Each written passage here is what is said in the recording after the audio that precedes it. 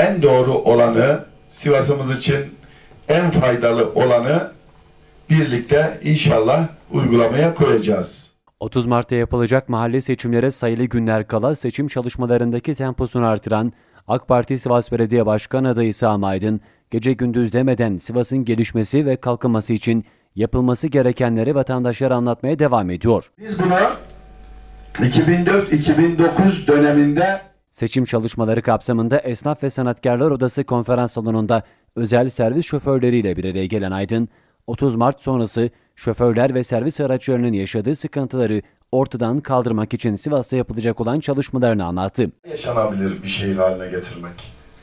Daha düzenli bir şehir haline getirmek. Yani sizlerin mutluluğu bizim mutluluğumuz. Biraz önce söylediğimi tekrarlamak durumundayım. Bu işin taraflarından biri sizsiniz. Bir diğeri öğrenciler, dolayısıyla veliler, bir diğeri de okullar.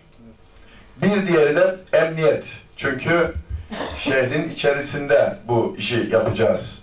Dolayısıyla bu tarafların hepsinin uygun gördüğü, kabul ettiği bir sistem ideal bir sistemdir. Doğru bir sistemdir ve o sistemi biz sağlamak adına her zaman yanınızda olacağımı bilmenizi isterim. Şoförlerin sorunlarını dinleyen Aydın, göreve geldiğimiz takdirde sıkıntıları en aza indireceğiz dedi. Üzerinden 1000 liraya yakın yıllık gider ve e, yer işgaliye bedeli alınıyor. Ama servisçi arkadaşlara hiçbir şekilde dönüşü olmuyor bu. Mesela sizin yaptığınız örnek bir iş gibi galericiler sitesi ve ve halk otobüslerin toplandığı yer gibi servisçi arkadaşların böyle araçların mesela Halil Rıfat Paşa Caddesi'nde bizim işletmemiz var. Ama komşular sizin de dükkanınız var orada şikayet e, yüksek safhada. Neden? Çünkü araçlar büyük olduğu için ister istemez hepimiz şehir merkezinde konumlanmak durumundayız. Konuşmaların ardından Aydın, Altın Tabak Mahallesi'nde faaliyet gösteren bir kıraathanede mahalle sakinleriyle bir araya geldi. sektörünü tıkarsanız bu şehrin ekonomisi durur.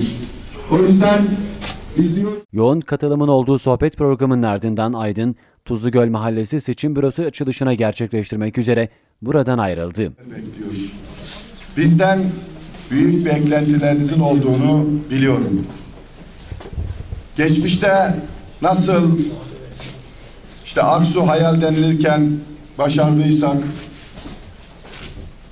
meydan hayal denilirken başardıysak, gene toplu konutları, Paşa Bahçe'yi, doğal gaz gibi büyük bir projeyi, içme suyu arıtma projesini, atık su arıtma projesini, toplu konutları, toplu taşımı, altyapıyı, yağmur hatlarını ki özellikle bu bölgede yağmur yağdığı zaman birçok yere su basardı.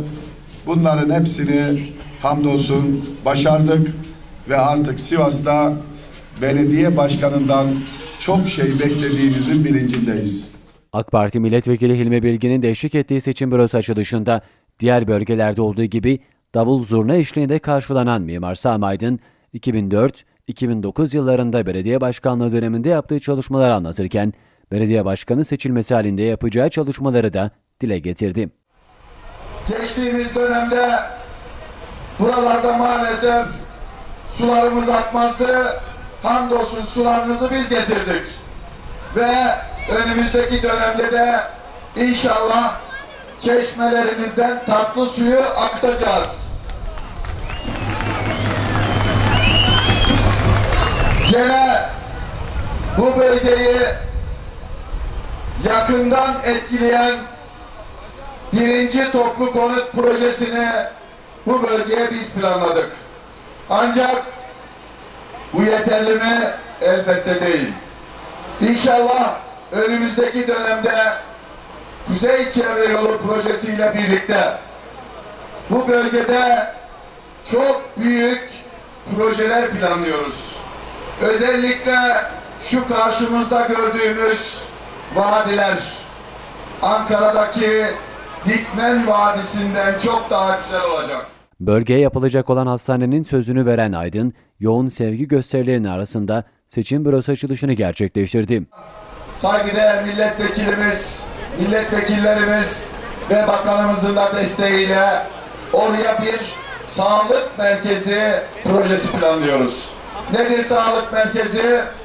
Hem diş hastanesi olacak hem de bölge polikliniği şeklinde sadece Tuzlu Göl'ün değil, Esentepe'nin, İstiklal'in, e, Kümbet bölgesinin yani Sivas'ın batısında bulunan bütün bölgenin Emek Mahallesi'nin sağlık ihtiyacını karşılayacak büyük bir sağlık kompleksini o alana yapacağız ve sizlere kazandıracağız.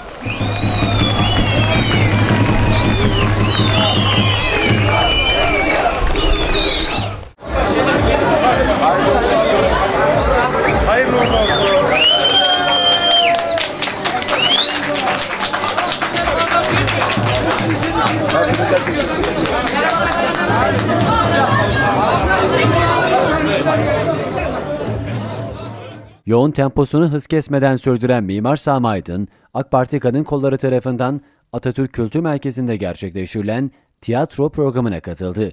AK Parti Kadın Kolları Başkanım, değerli basın mensupları, saygıdeğer hanımefendiler, beyefendiler. Katılımcılara kısa bir selamlama konuşması yapan Aydın, kadının önemine değinerek Peygamber Efendimizin buyurduğu gibi cennet annelerin ayakları altındadır dedi.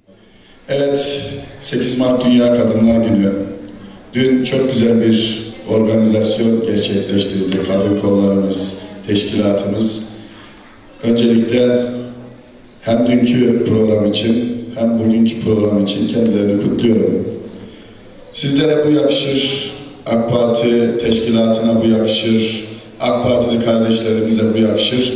Hepinize kutluyorum. Tabii ki bu tür programlar siyasette, ticarette ve sosyal hayatta aktif olmaları gerektiğine inanıyorum ve kadın elinin değdiği her işte de hayır ve bereket olacağına inanıyor. Hepinizi saygıyla selamlıyor. Bütün kadınlarımızın Dünya Kadınlar Günü'nü kutluyor. İyi eğlenceler diliyorum. Sağ olun. Ardından Milli Savunma Bakanı İsmet Yılmaz, milletvekilleri Ali Turan ve Hilmi Bilgin, AK Parti Belediye Başkan adayı Sami Aydın, Karşıyaka Mahallesi seçim bürosu açılışı gerçekleştirdi. Adeta miting havasında geçen programda, programında ilk olarak konuşan milletvekili Ali Turan ve Hilmi Bilgin, Türkiye üzerinde oynanan oyunlara değinerek zalimlere gereken cezayı millet olarak sizler vereceksiniz dedi. Karşıyaka'yı, Sivas'ı baştan sona imar edecek belediye başkanlığımızın seçimi var. Bu seçimler 30 Mart'ta yapılacak. 30 Mart'ta hem Karşıyaka hem de Sivas artık geri geçmiş günlerini unutup hak ettiği yere gelecek inşallah.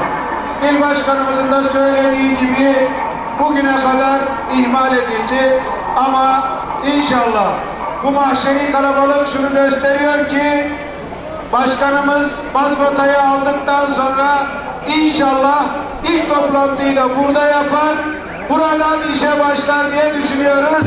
Sizlerin destekleriyle. Milli Savunma Bakanı İsmet Yılmaz'la yapmış olduğu konuşmada Sivas'ın çevre illeri iktidar belediyeleriyle koşar adım giderken Sivas'ı sadece yürütürsek bunun hesabını veremeyiz. Bunun faturasını bizler ve gelecek nesildeki çocuklarımız öder diyerek elinizi vicdanınıza koyun ve kararınızı verin dedi. İnanın ki geriye Sivas'ı geri getiremeyiz. İnanın ki çağdaş medeniyet yolunda komşumuz iller var.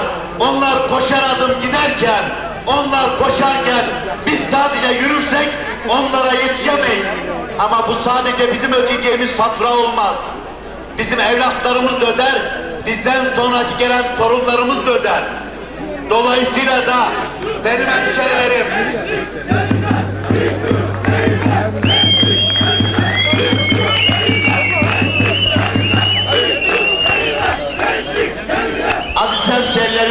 hemşerilerim, şehir demek Medine kelimesinden gelir. Medine demek şehir demektir. Ve medeniyet de şehirden gelir. Şehirlilikten gelir. Dolayısıyla sadece bir adam seçtiğimize bir koltuğa bir çalışan aramıyoruz. Sivas'taki medeniyetimizi inşa edecek ve mevcut medeniyetimize daha ileri götürecek bir mimar arıyoruz. işte layık olan, ehil olan, liyakatlı olan Sami Başkanı görüyorum ki hizmetlerine hasret kalmışsınız. İnşallah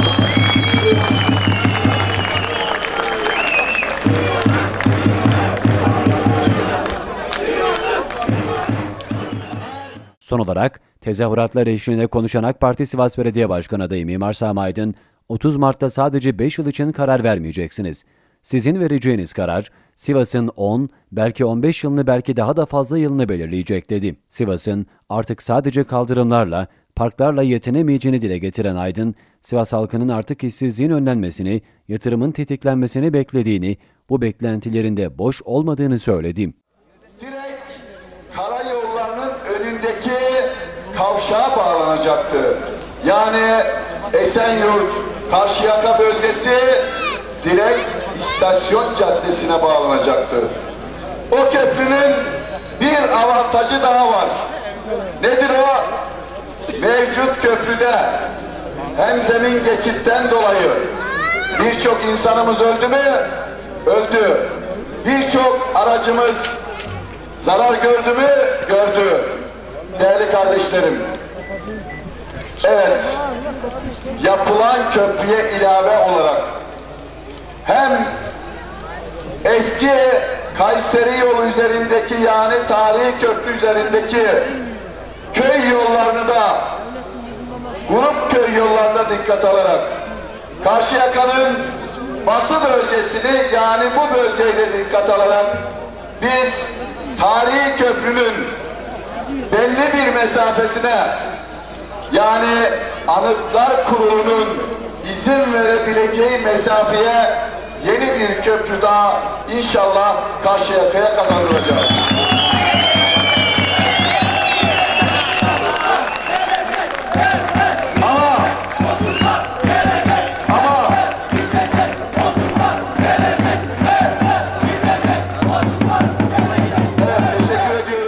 Açılışa katılan kalabalığa projelerini de aktaran Aydın, belediyeyi hükümetle birleştirme konusunda yaptığı çağrıyı bir kez daha vurguladı.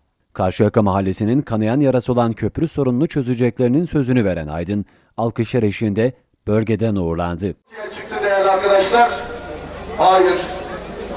Ama nasıl ki Paşa Bahçe bir asırdır oradaydı, biz gelene kadar bırakın hanım kardeşlerimizi, şu tezahürat eden gençler bile oraya girmeye cesaret edemiyordu. Bugün ailecek gidebiliyor muyuz?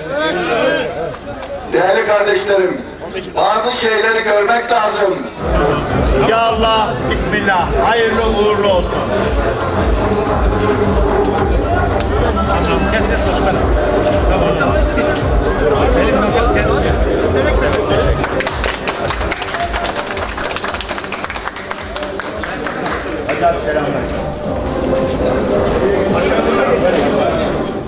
Kabul etmiyoruz. Dört Eylül'de konuşmuştuk başkanım. Haberiniz olsun konuşmuştuk. Önümde TRT 1 e, Başbakanım sizi konuşuyordu. TRT 2 ozanlarımızı, TRT 2 Sivas Spor'umuzu konuşuyordu. Gurur duyuyoruz. İnşallah o gün de yine gelecek başbakan. İnşallah. Başkanım. Sivas Spor'umuz ne kadar güzel gidiyor. Ne var ne yok? Sağ olun. Sağ olun. Sayın Başkanım, bir şeyin teyidini almak.